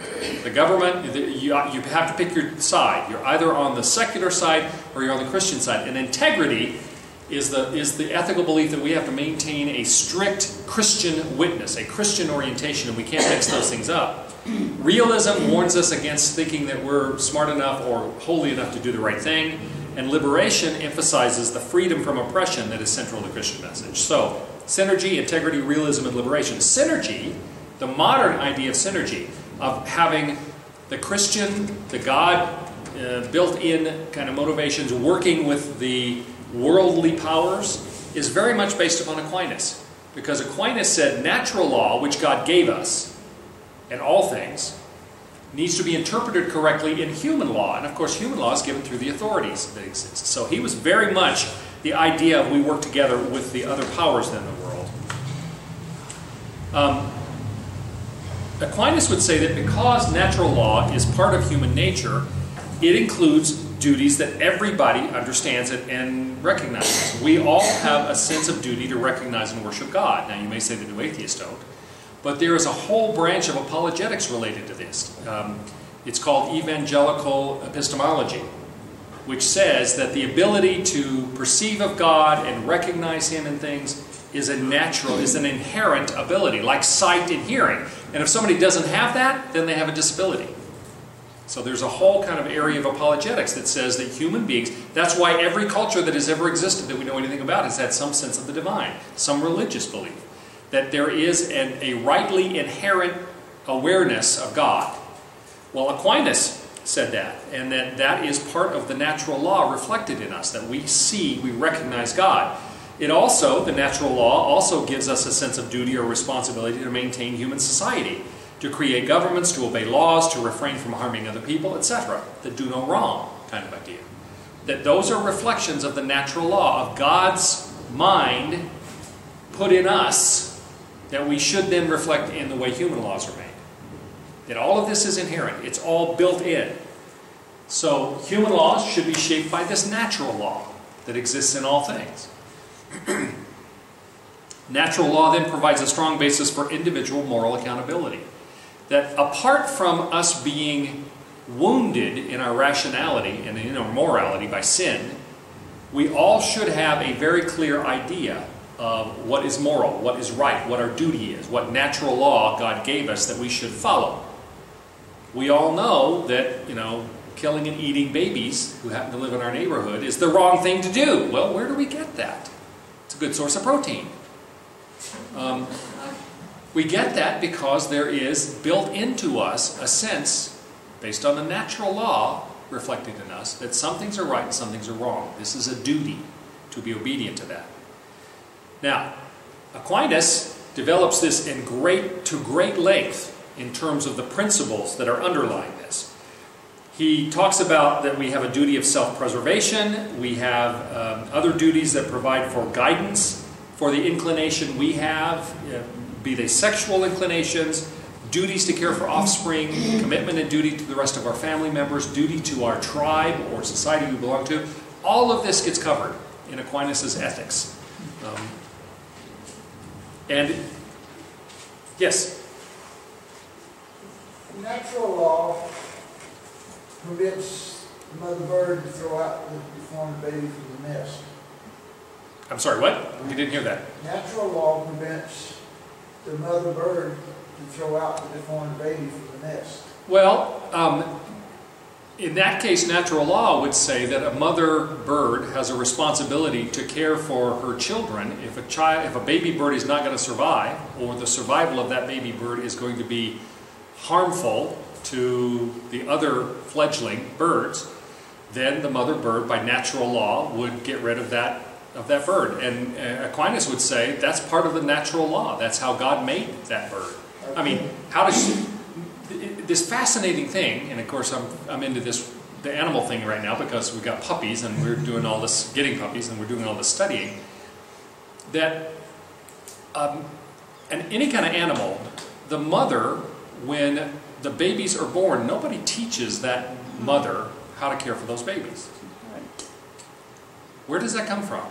Aquinas would say that's part of the natural law, and that would apply to how a mother bird cares for the, the baby birds as well. You know, for, for a dog, a mother dog, first puppy she ever has, she knows how to lick them in order to get them, because when they're too young to be able to get up and you know move around, to get them to eliminate, how to clean it up, how to teach the you know teach the puppies what to do, um, how to correct them in a way that they'll grow, so that they you know are socialized in the all of this stuff. Where does that come from? That's the natural law, which was put in them by God. Aquinas would say yes. But, so my question is, how does this apply to humans? Well, he would say that human beings have the same thing. That we have uh, we have basic understandings that God put in us about, particularly in, in an ethical case, what is right and what is wrong. That we all that yes, we may be bent slightly. I'm using the word from C.S. Lewis. You know that that, um, that we are, you know, if, we, if we're not broken, we're broken. We're at least bent. That sin has caused us to have um, sometimes bad judgment about things, and that we we have practical reason. Human beings alone, of all of God's creation, were given the rational ability to make judgments about whether we're going to be obedient or not. You know. Um, and so we sometimes get it wrong. You know, we will put laws in place that will oppress certain people. But eventually, society rights itself. Whenever laws have been passed that said it is okay, you know, we always use the Nazis because they're such a relatively recent and vivid example. Passed laws that said that, you know, properties could be taken away from Jewish people and given to, to non-Jewish German citizens. And that was the law. But we all look at that now and go, that was completely wrong. Okay, that, that was unjust. There was, that was not the way it should be, and we're not going to allow that again. Well, why do we say that? Because there is something in a healthy person that recognizes good and, good and bad, right and wrong, evil and good. And so, even though there may have been people in power who were evil at various times who did evil things, the vast majority of people look at those kinds of things and go, no, that's wrong. God has made in us. And I think even the people who did those things knew they were wrong. But they were more concerned about satisfying their own appetites. And the more you go in an intentional wrong direction, the less sensitized you are, I think. But so Aquinas would say all of this stuff is in us. And in fact, he went so far. Now, one of the things you need to realize that, that Aquinas was looking at, he was a monk, and he was writing primarily for uh, church people. One of the reasons for that is only church people could read back then. And so most of what he was writing in terms of philosophy and theology would have been directed toward priests and monks and other people in the church. And much of it was in order to try to encourage a sense of the natural order of things, which, which means obedience. obedience to those in authority over you. And, and that was a big theme for him, is obedience in those in authority, both those in secular authority, but especially those in the, the authority of the church. There, have always been issues, and in the, the Middle Ages, Scholastic period included, there were particularly conflicts between who's really in charge here, is it the Pope or the King? All right? And to what extent? Well, um, while Aquinas was writing to convince people that there was, there was a natural order, natural law that gave us a natural order, and that the laws were there for a reason, he still said that it's possible for humans to pass wrong laws, and the highest authority is for us if we are sensitive to and, and listening well to the natural law sensitivity God has put in us, that we should obey our conscience. In fact, he went so far as to say that if there is a conflict between human authorities and our conscience, we must obey our conscience. That was unheard of. But it is a natural reflection of his idea that every human being, because of the natural law, has an inherent moral accountability, and that even though we have a responsibility, and he emphasized that a lot, to be obedient to human authorities, ultimately we had to say, what does my conscience tell me is really God's law here? What is the right thing to do? And you, if you, you know, go forward 750 years from there, you can see that this whole move in the late 20th century toward believing that there are crimes against humanity, that there are duties that are bigger than what the authorities are telling you, is exactly what he was saying. That to do an atrocity because the people in authority told you you should is not justified. Your conscience should rule that out. And even if you have to take serious consequences on yourself, you should do what your conscience tells you is right. Okay? In that regard, he was way ahead of his time. He was way ahead of his time in a lot of ways, to be honest about it. Um, now, there was there was a serious question that was raised later in Aquinas, and Aquinas attempts to address this. It wasn't actually later. Some people, when he was still writing, said this. That, um, but what about if some people felt that Aquinas was allowing human reason, that is our practical reason, our ability to make judgments, our ability to be sensitive to the natural law God has placed in us, that that was trumping God's rules. That God himself was subject to our perceptions of what should be. And Aquinas said, no, all of our sensitivities in that regard, all of the natural law in us, our conscience exists because it was made by God. And so ultimately, all of this is from God. But if all of this is from God, the objections that, that started when Aquinas was still uh, writing, still alive, that he addressed somewhat, is what about the people who are not open to God? What about the people who are still in their sin, who have not been redeemed? Who are still under control of the, you know, the Lord of this world, if you will, of the devil, then their perceptions of God's intention in the natural law are not going to be pure. And how do you deal with that? Um, so Aquinas got challenged on that, and this became a big issue later on. A lot of people dealt with it, and especially in the Reformation. I'm going to talk about that next. Before I get into that, let me say that Aquinas, as I say, his system is very complete he presented the natural law as kind of a, a, set of principles. And from those principles, he then created a system whereby you could take those general principles. Remember, we started by saying we need a system by which we can bring the principles down to a day to day thing and help us make decisions. Aquinas did that. He created what has since become known as casuistry. Casuistry is the process of taking general ethical principles and this is, this is the ethical standards that the Catholic Church especially uses, although Protestants do it too. And figure out how to apply that down to the point where you have to make a decision day to day. All right? Um, What's the word?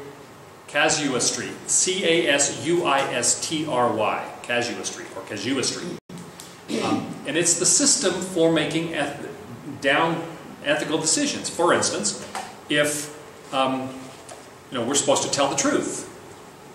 That's a basic principle. Tell the truth. Well, if a woman is being abused by her husband and she knows if he tells him that if she tells him the truth about something that he is going to beat her up, is she obligated to tell the truth? Casuistry sort of siphons this down to practical kind of decision making. And the answer would be no, that there is something that trumps that, and that is in order to prevent violence against yourself or somebody else, you don't have to obey that rule. Another rule would be to respect personal property. Suppose somebody um, asks you to hold a knife or a machete for them. Would you hang on to this for me? Well, the principle is that they have, it's their property, they have a right to it whenever they want it back. But if they show up at your house and you know for a fact that they're going to take that machete and kill somebody with it, are you obligated to give it back to them? Or should you hold it? The, the prince, you know, so casuistry would help us figure that out and would say, well, no, there's a higher responsibility, and that is the responsibility to preserve human life that is even more important than the responsibility to, re, to respect personal property.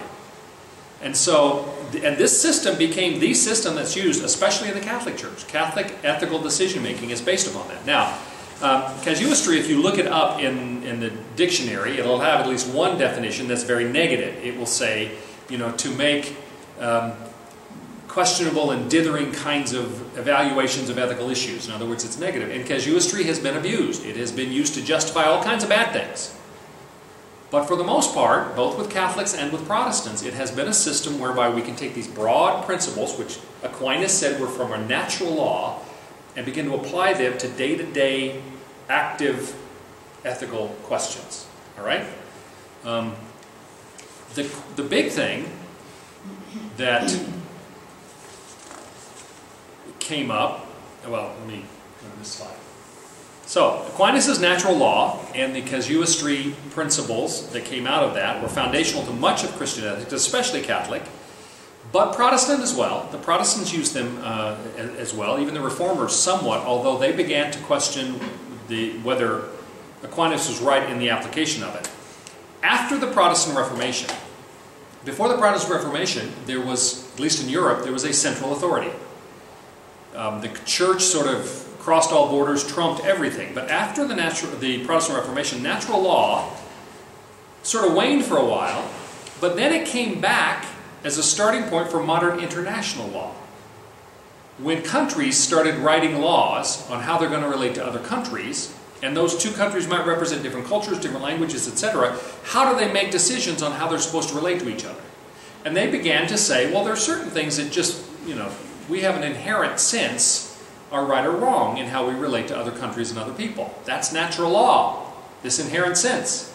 And so, for both Catholic and Protestant scholars, after the Reformation and a while later, began to use natural law to establish rules for trade, for commerce, and to limit the damages of war.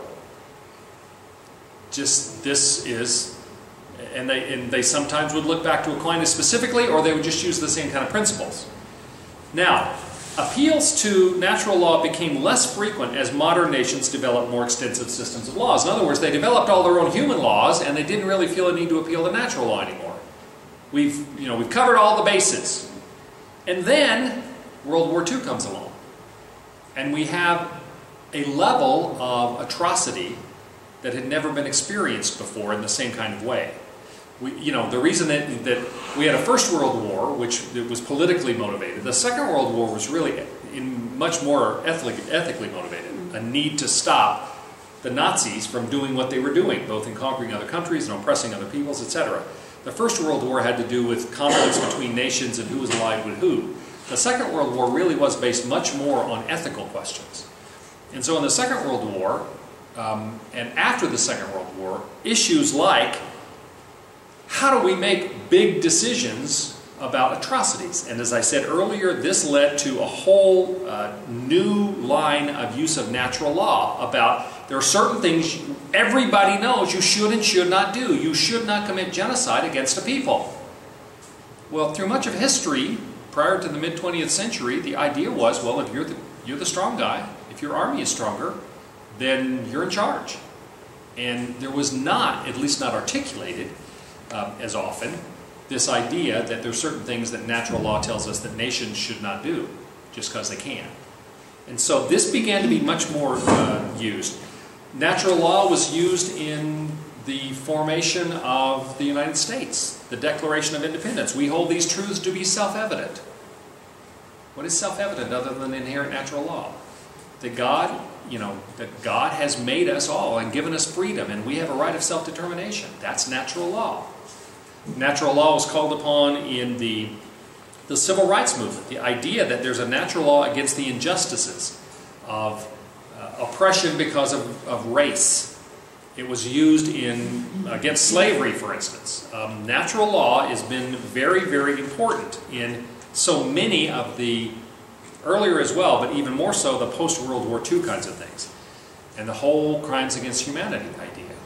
Um, the whole argument against weapons of mass destruction is brand new. The idea previously is if you had a weapon that could effectively destroy all of your enemies, then boy, you're winning.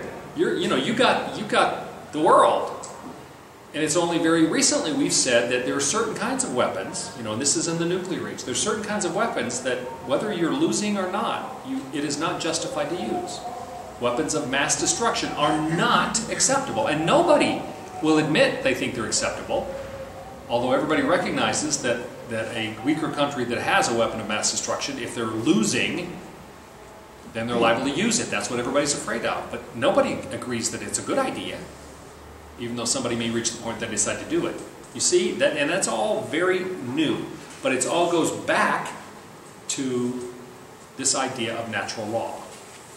Now, Christians and Jewish thinkers have especially made use of the idea that some moral rules are universal and they're part of nature because that links us back to God, contrary to the new atheists. If we believe that there are inherent in human beings certain kinds of moral values that are part of our nature, and they're part of our nature because God created us as having part of their nature, that's an affirmation of God being the creator God. And so this has been very important to both Jewish and Christian um, scholars and thinkers.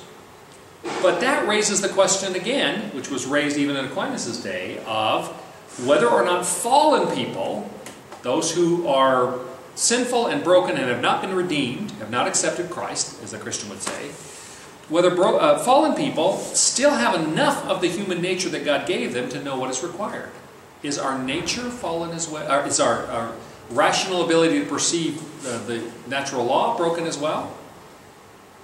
And there has been difference on that. Again, that question was raised even on Aquinas' day, and he said, no, that there, we still have enough that while it may be darkened, we still have the ability to make the right judgments.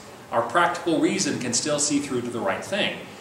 Others have disagreed with that, and most particularly because of, of the, the focus on um, sin as being comprehensive. The Protestant reformers said that human nature is so damaged by sin that reason lacked the secure, did not have the ability to find a secure knowledge of anything that nature or God requires. In other words, our rationality, our practical reason, our ability to perceive what really is right and wrong is also fallen. In the reformers, all of the reformers, Protestant reformers, sort of got to this point, but uh, it's, it's clearly reflected in the hyper Calvinist, the five point Calvinism, TULIP, T U L I P. The first of those, the T, is total depravity. Total depravity means all of us is fallen, and that we do not have the ability, therefore, to seek God or to be inclined toward Him on our own. Aquinas would have said we still have our reason. Our reason was made by God, and God will allow us by the natural reason we have, the practical reason we have, to seek the right thing. The reformers said no. Yes, John? Aren't those two different things? What's that? Aren't those two different things? I mean, what, what, what Calvin was talking about was depravity in the ability to pursue God. That's my intention. Not Well- the depravity of understanding natural law. He said everything. That's why it's total depravity. Because the argument the Catholics were making is that there is still a part of us, particularly our reason, and this is based upon Aquinas, which will give us the ability to seek God. Aquinas said, I understand so that I might believe. That our understanding was inherent, and if we understood, then we might seek God and believe based upon our rational abilities. And those same rational abilities are what gave us the, gave us the ability to see the moral right, the natural law. Now, and there's two very different streams here. Aquinas said, um, and this is based upon Aristotle, I understand that I might believe. Uh, uh, Aristotle didn't say, I understand that I might believe, but he said that human reason is inherent and inviolable. Aquinas picked up on that from Aristotle and said, I understand so that I might believe. Rationality exists still and I can use it. Interestingly, Augustine said, I believe that I might understand. He said the opposite. Actually, Aquinas was before, uh, uh, Augustine was before Aquinas by 800 years. But the reformers rejected Aristotle, for the, at least that part of Aristotle. They rejected Aquinas and they went back to Augustine and said, My reason is broken as well. I believe, I accept God and am healed that I might understand. Apart from that, I don't have understanding. And so that's how they differed from Aquinas. So, so when Calvin said total depravity, he was talking about, He means all of it. He means our ability spiritually to, to seek after God or to understand but God. much more. But much more. It, it, part of that, the total part of that, is specifically in response to there is nothing in me, in a human being, that is able to seek out God. I am totally depraved, not just spiritually depraved. I am rationally depraved too. All of that is broken. Okay? So, we cannot figure out, according to the reformers, what God desires for us. We can't see how the natural law should lead us to the right moral decisions, apart from the redemption and salvation that comes in Jesus Christ. Now, Martin Luther said this. All you Lutherans, listen up. Um, Luther said, Here, we, when he's talking about ethics, here we must divide Adam's children, all mankind, into two parts. The first belonging to the kingdom of God, the second to the kingdom of the world. All those who truly believe in Christ belong to God's kingdom, for Christ is king and Lord in God's kingdom. He, now, this is part of a treatise he did on secular authority, and he went on. If all the world were true Christians, that is, if everyone truly believed, there would be neither need for nor use of princes, kings, lords, the sword, or the law. What would there be for them to do? Seeing that true Christians have the Holy Spirit in their hearts, which teaches and moves them to love everybody, wrong no one, and suffer wrongs gladly, even unto death, where all wrongs are endured willingly, and what is done is done freely, there is no place for quarreling, disputes, courts, punishments, laws, or the sword. And therefore, laws and the secular sword cannot possibly find any work to do among Christians, especially since they of themselves do much more than any laws or teachings might demand. Luther believed the secular law is for non Christians. But we as Christians have a responsibility to support that. He was synergistic in that regard. That we have a responsibility to support the local authorities unless they violate the, the conscience that God has given us, unless they violate our Christian obligations, then we need to recognize that. Luther said you can't just give up on all that because you know God gives us human laws too. God assigns human authorities. We need to support them. We need to even participate with them when it's necessary.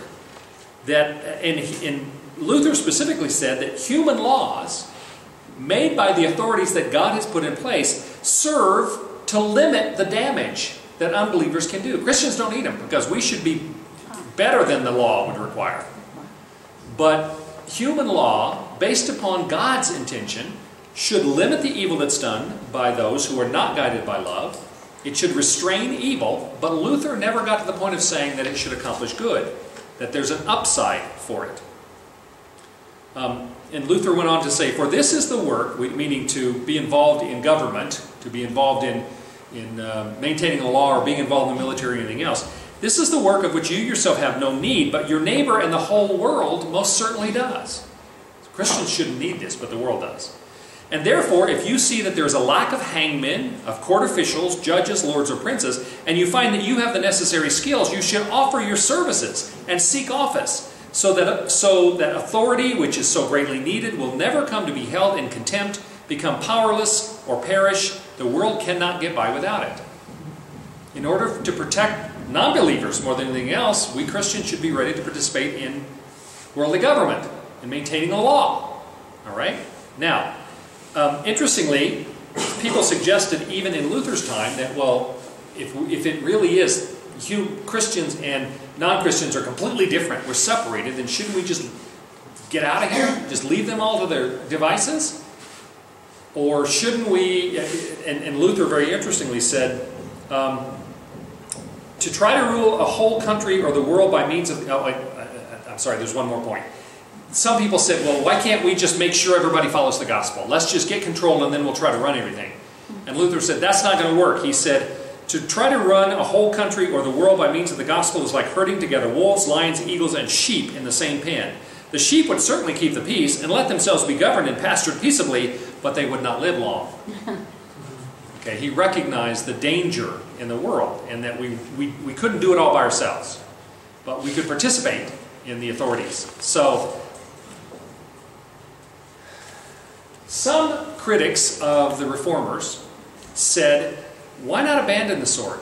As I just said we don't need it. That's not for us. We are part of a different world. They would say, let others take on the task of maintaining order, passing laws, enforcing laws, being in the military, since there never is any shortage of people who seem to want power. We will devote ourselves to living as true Christians. So they took the first part of Luther's admonition that we have to divide the world in two.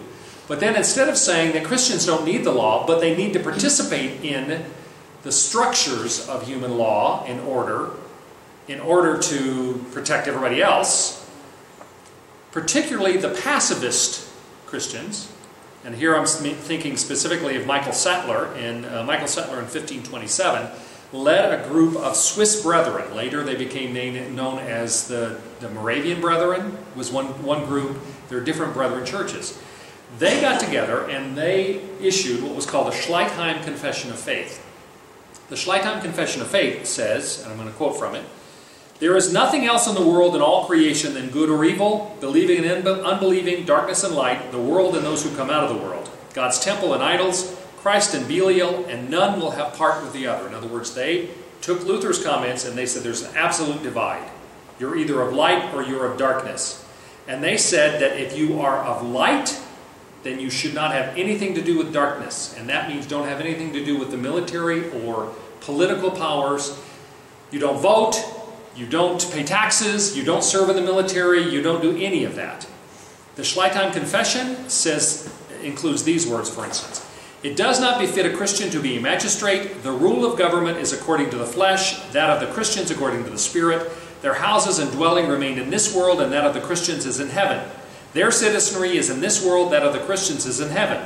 The weapons of their battle and warfare are carnal and only against the flesh, but the weapons of Christians are spiritual, against the fortifications of the devil. The, world are, the worldly are armed with steel and iron, but Christians are armed with the armor of God, with truth, righteousness, peace, faith, salvation, and the Word of God. So the Mennonite churches which came out of this, the Brethren churches, sometimes called the peace churches as a group, they reject military service, they withdraw as far as possible from any participation in government or politics, they emphasize community and simplicity. You know, the Amish are part of this movement, the Mennonite movement of the Amish. Um, they focused on self-sufficient farming communities. They refused to pay taxes. They refused to serve in the military. Those two things, not paying taxes and not serving the military, means they were often persecuted by the governments where they were. A lot of them ended up migrating to the United States or to parts of Russia, where there were large plots of land they could live independently and not be under the control of those who disagreed with them. Now, Luther represented the synergy approach to, uh, to ethics, meaning we as Christians have values, we need to figure out how we can work with the government on that, because we need both. The peace churches, the, or they were all Anabaptists, they believed in adult baptism and confession. The Moravian Brethren, the Swiss Brethren, the Mennonites, etc., they are of the integrity mode, which means that there is a difference between Christians and the rest of the world, and we need to emphasize that difference. We need to stand out as a light in contrast, not in conjunction with, the rest of the things in the world. Um, and so there was a, you know, there's a very different kind of understanding, even though they're basing it on some of the same things that Luther said. Yes, John? Um, I think when we think of pacifism, we all get this, this think, this, this, is, we have this idea, image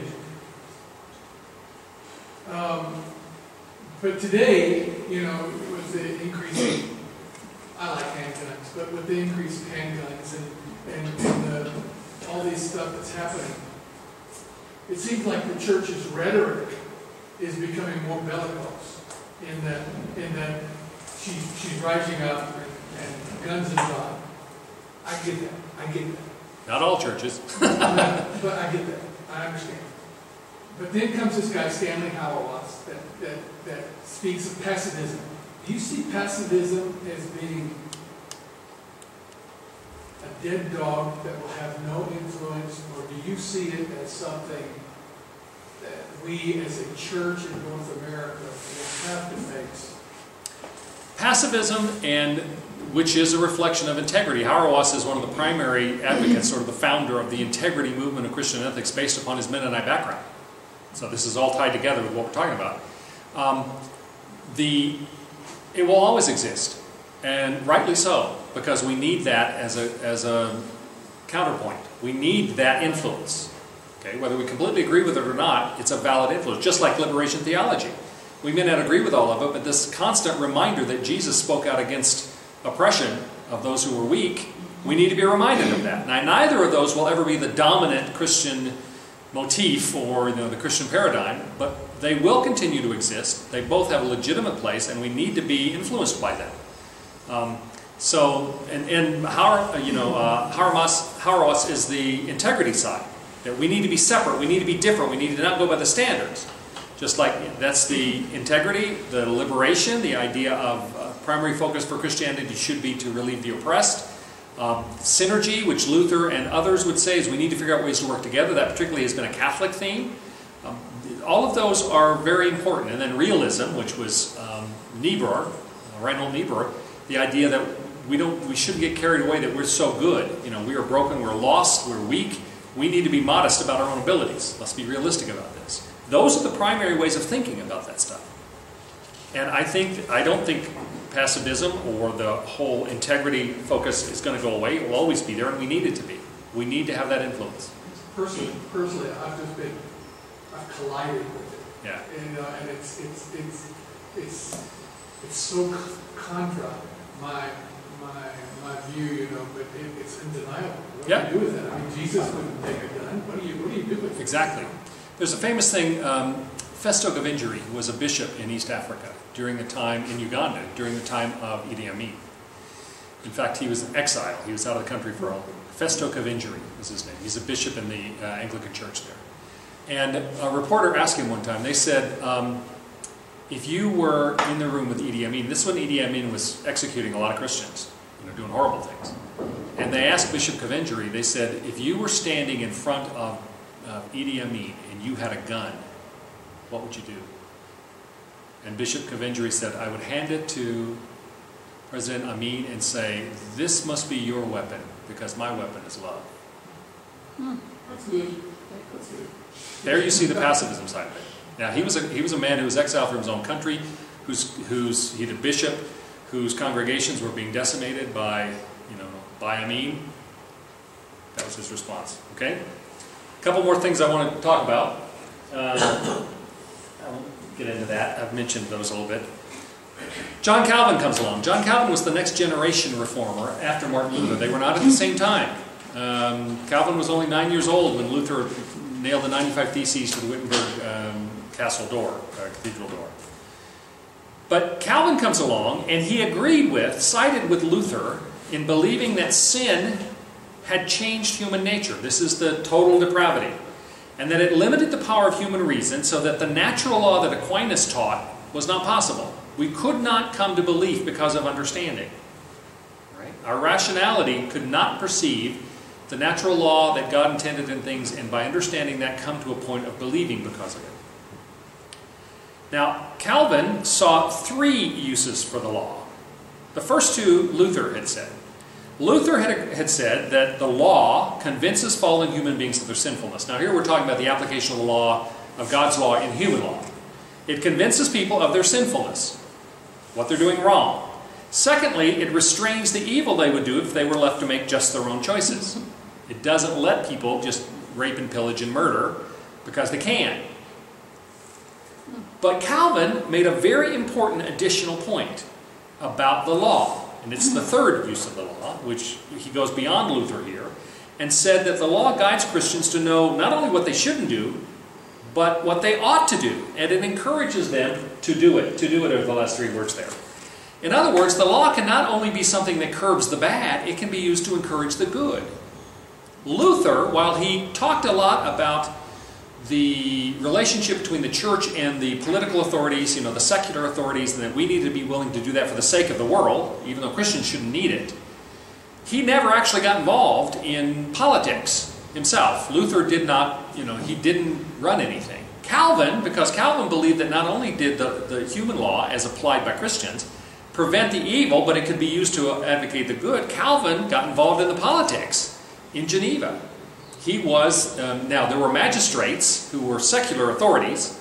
He was in charge of the church, but he was the primary leader. So- some people would define Geneva in his time as a theocracy. Was he like a mayor? Well, sort of a mayor. I mean, he was the primary sort of first citizen kind of thing, and clearly in chur- charge of the church. But there were there was at least one time that the magistrates were so upset with him they, they ran him out of town, and then later he was he was told to come back because things were going bad. So he didn't have absolute authority in that response. In that regard, it wasn't like he was king of a theocracy, but he did get involved in that because he believed that the law could could guide Christians as to what they ought to do and encourage them to do it. And that was a very different understanding about human law. And so here you get Aquinas, you get Luther, you get the confession, uh, the Schleitheim confession churches, and you get Calvin, all of them working from a Christian perspective and having very different understanding of how involved we should be in ethical issues with regard to how it gets done in, in secular kind of courts and laws and things of that sort. Um, Calvin actually developed a, a, very complete theology of this with regard to how we're to how we're to use uh, law, whether it be actual human law or just an understanding of the natural law, in order to encourage the right things. In, within Calvinist theology, there developed uh, the sense in which there were orders of creation that God had put natural laws within. One of them was the family, that there was a certain order of things that we as Christians should perceive as being natural in a family of work, of government, and of religion. This idea that in all of those practices, in all those the, uh, arenas of our living out our lives, that there were certain kinds of things that we're told should not occur in that, and some that we're, the law could allow us, the natural law and the human law, could encourage us to do. I don't have a lot of time to talk about that. I want to get one more, one more thing so how do we apply these deontological ethics? There are different ways. You have the casuistry that came out of Aquinas, sort of taking the big principles of natural law and applying them to specific cases and the system for doing that. You have um, various ways in which it was perceived that you involve yourself as the church in coordinating or cooperating with the secular authorities and human laws in order to maintain order. All of these have been based upon the principle of autonomy, that right, truly right actions are self-chosen or self-motivated. That truly ethical principles are not principles that are required or mandated or forced by some authority. If it's truly an ethical moral decision, you have to pick it. And so the principle of autonomy has always been a major one in ethical issues, especially deontological ethics. You have to decide for yourself, what is my duty? What is my responsibility? There may be different systems, different ways you can approach it, but you have to, you have to accept that for yourself. Okay? Um, and the problem is always understood. It's not knowing the right thing to do. In, the, in 99% of the cases, we know the right thing to do.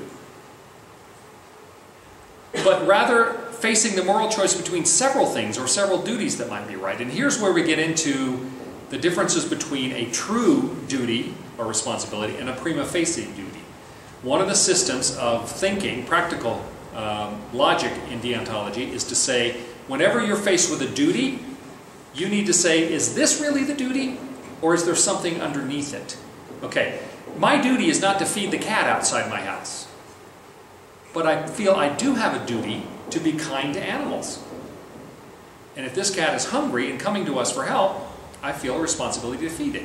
But the, feeding the cat is the, just the prima facie. The duty is that I have a responsibility to be humane, right? See the difference? And so one of the principles is making sure that you really understand what the real duty is, because that will keep you from going in the wrong direction by misinterpreting a prima facie duty as being the real point, right? You know, my duty, if I'm, if I'm in the military, my duty is to obey authority. But if the authority tells me to kill these civilians, I need to say, now wait a minute in this case, is my primary duty to obey authority, or is that just the prima facie duty? Do I have a more fundamental duty, and that is to not commit atrocities against human beings, to respect human life? You know, and, and where does that apply? So that's one of the one of the ways in which we begin to apply it. Um, It's also true that in deontological ethics, consistency and independence, independence being the self, the autonomy, uh, consistency and independence of moral action vouches for the rightness of our actions. If I, if I make a moral decision based upon principles that I believe, duties that I have, that my responsibility, and throughout my life I am always consistent with that, my ability to be consistent in that in itself vouches for the, for the truth of that duty. It has integrity for me to always be consistent. That I will not accept, you know, I do not give mordida. I don't care whether they threaten to take my car when I know I haven't done anything wrong or whatever. I go, well, I wish you wouldn't, but okay. And they go, well, you know, you can pay me right now we won't have to do this. I, I'm sorry, I can't do that. I will not pay mordida. And I will not change that based upon circumstances. Even if they arrest me, even if they impound my car, I will not pay a bribe. And as long as I'm consistent with that, my consistency itself, I believe, vouchsafes for the truth of that as a principle. Okay? And so all the way down the line, I'm over time, but I have to say Immanuel Kant. Immanuel Kant, great, one of the greatest philosophers ever, even though I disagree with a lot of what he said. Um, brilliant thinker, German. Uh, he talked about the categorical imperatives. He said that there's certain moral rules which everyone knows are true and everyone must follow because not following them would be irrational. Example, tell the truth. Think about the, the logical consequences if people did not believe they should tell the truth. Uh, How could I ever trust anybody? How could anybody ever trust me? How could I get anything done? I could never buy anything in a store because, for all I know, there's poison in that candy or whatever else it is. That telling the truth, to not tell the truth, now uh, people do lie, but we know that's wrong. The right thing, the duty, the responsibility is to tell the truth. And it would be irrational of us not to know that telling the truth is the right thing to do. Because if people consistently, as a pattern, refuse to tell the truth, what would happen to human society? So not believing that telling the truth is the right thing is irrational. Anything, any moral principle, now he believed it had to be something you accept for yourself, it had to be autonomous. And so it followed the principle of autonomy. Anything that was a self-determined truth that it would be irrational not to obey, he called a categorical imperative. Not because of the results. He talked about a theoretical imperative, I'm sorry, a hypothetical imperative would be if you do it because of the of results. Okay, you make a decision on whether or not I'm going to cheat on this test based upon the fact I need to get a better score. That's not a categorical imperative, don't cheat on this test. That's a theoretical imperative because you're doing it for the results. Okay, that's a teleological thing. A categorical imperative is one in which there are no conditions, there's no qualifiers, you have to do it. Now, Kant was a little crazy about this. Kant said if somebody came to your door and they said, I'm looking for, for Mike because I'm going to kill him, do you know where he is? Kant would say, if he was hiding in your closet, you'd say, yeah, he's in the closet, second door on the right. Because Kant would say, you have to tell the truth. It's a categorical imperative. You can't violate that. And Kant would say, besides, if you said, no, he's not here, and Mike had escaped out the window and was now running down the street, and the guy turns and walks away and runs into him in the street and kills him there, then you were you had a part in having him be killed. Now that's a little crazy. Kant was a little crazy. Like I say, I don't agree with him on everything. But he believed categorical imperatives were so much of an imperative, you could not violate them ever. Okay? But always the greatest challenge in deontological ethics is moving from principles to specific moral cases. The whole process of deontological evidence, uh, ethics has not been so much to decide what are, the, what are the responsibilities, what are the duties. We have a pretty natural sense on what those are. It's how do I take the principles and apply them on a day-to-day action? How do I decide whether or not I get involved in a business deal if it looks a little shady to me? What's the process that I need to go through? How do I make down, you know, street level decisions based upon the duties or responsibilities I feel? And there have been a number of ways of, of doing that. One of them, for instance, uh, a very modern way, is to believe in deontology, to believe that there are duties, there are responsibilities, and this is where Kant, Kant goes wrong. But there's a principle called proportionalism. Proportionalism is the, the strategy of doing this, of taking the principles of deontological ethics and moving them down to specific cases. Proportionalism says, okay, I have certain duties and responsibilities. But if I find myself with a conflict of duties, I need to consider, well, what are the end results if I decide A versus B, if both of them feel like duties to me? So what that is, proportionalism is sort of a combination of deontology, I have a duty, I have a responsibility, and teleology, what's going to be the end result? You start with the duty, but then you have to decide when you have a conflict, what's going to be the end result? And you bring into it a teleological or a goal-oriented kind of thing. So there have been a lot of different processes, from the casuistry that came out of uh, Aquinas, to the various ways in which the reformers talked about getting involved or not getting involved with secular authority in order to maintain the right, the good, uh, and then through that process come up with specific rules and laws about what you do, to constant categorical imperatives to proportionalism. Various different ways to get it down to how do I make a decision when I'm called upon to make an ethical call right now? All right, I've gone 10 minutes over. Any questions? Sorry to go so long. Very interesting. Give you a lot to think about, all right? And we will pick up next week with virtue ethics. Thank you, everybody.